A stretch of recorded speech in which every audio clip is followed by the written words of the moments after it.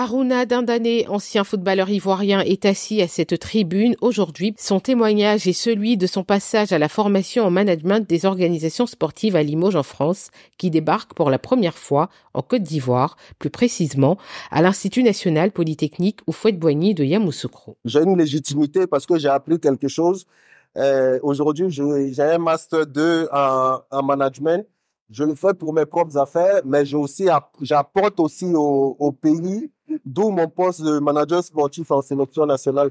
La formation propose deux diplômes, à savoir l'executive master en gouvernance et administration du sport et le master de management des organisations sportives. On peut vous apporter notre expérience.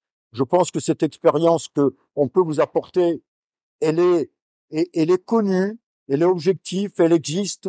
Euh, on n'arrive pas comme ça en disant on est les meilleurs, on est les plus beaux. Non, on arrive avec finalement notre expérience, les preuves finalement qu'on peut réussir. L'opportunité donc de couvrir un besoin en Côte d'Ivoire qui est le besoin de formation dans le domaine du sport qui n'existait pas parce qu'on avait des athlètes et après il y avait la rupture entre les athlètes et les gestionnaires.